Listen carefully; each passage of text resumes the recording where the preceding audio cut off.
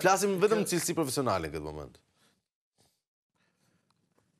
Tani, jo, pyetje shumë e drejtë. Kjo, unë doja ta lidhja pak me atë që, që, që tha zoti Ndriçim edhe faktikisht, kur vjen puna te si, nuk është vetëm çështja që të mësojnë fëmijët programim dhe kur të rriten të bëhen programues.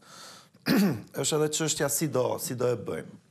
Tani këtu është një aspekt pedagogjik që u përmend me shumë të drejtë, domethënë nuk mund nuk mund ta të përçosh një kontent, një përmbajtje pa pasur ato instrumentet e duhura pedagogjike.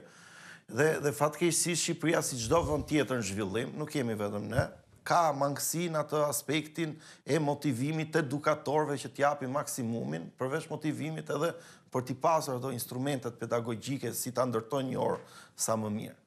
Mungon edhe aftësia teknike pastaj, sepse përtej që di të përçosh duhet të kesh dhe diçka për të përçuar.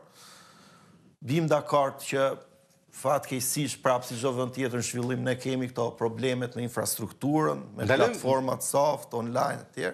Absolutisht. Ndërkohë, po, nëse më lejon një ndërhyrje zoti Malaj. Po, e se po dal pak nga tema, e di po do e po do më donte, do do më pëlqente që ta trajtonim pak edhe në këtë prizëm tjetër, mhm.